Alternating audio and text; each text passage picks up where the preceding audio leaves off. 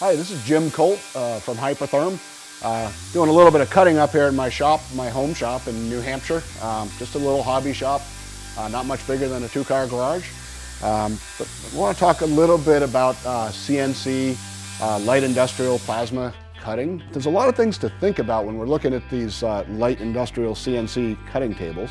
there's size of the tables, there's 2x2s, 4x4s, 4x8, 5 by 10 and even larger. This is a little 4 by 4 uh, kind of an entry level. This isn't really a machine that I would use for uh, you know, for light industrial production. So there's a lot of different types of tables in the light industrial market and they kind of vary in price. Some of the tables uh, are lightweight, kind of like this one, very small components on it. And some of them you look at are, are real beefy.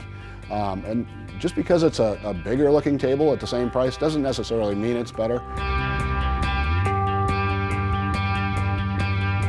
Some of the things to look at with the tables as well as uh, the software. Uh, the CAD software is what you actually draw the part with. Uh, the CAM software and the machine control software are kind of embedded in the machine and are doing things in the background with any CNC cutting table. If you have no experience with computers, look carefully at the software, find one that works for you. If you have a lot of experience and you've done some CAD drawing before, you can probably run any one of these tables pretty easily. Height control is absolutely critical and it should be uh, a good proven height control system when you look at these machines. Every machine needs some sort of a fume control system that sucks the smoke off the table. It could be a, a water table where water actually traps the fumes underneath the table, or it could be a downdraft table like this one. Uh, very important. You run without fume control in a small two-car garage like I have here, and you're going to fill it up with smoke in a matter of minutes.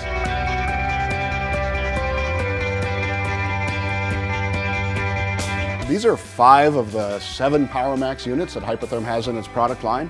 Uh, the reason we're showing five is because these are the five that we recommend for light industrial CNC cutting tables or entry-level CNC cutting tables. They're all kind of developed the same way that our 800 amp system and 400 amp and 300 amp systems are developed.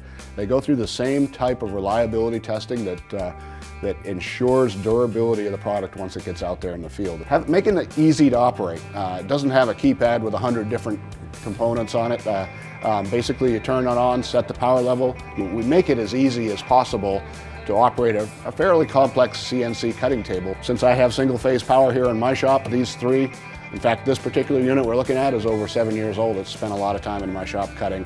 I've spent a lot of time as well with the 45 XP. We work very hard to develop torches and power supplies that work with each individual torch uh, that develop the longest consumable life. Um, there are parts that wear out, that's why we call them consumables in the torch. It's consumable life, uh, cut quality and cut speed uh, that we work really hard to, to, stay ahead of the game on with these systems. Every one of these units uh, that we're showing here, these five units have quick disconnect torches, so you can go from hand cutting to mechanized cutting in, in seconds. Take a look at them, call the experts, call us at Hypertherm, and call me, Jim Colt be more than happy to help you make sure you get the right one for your application.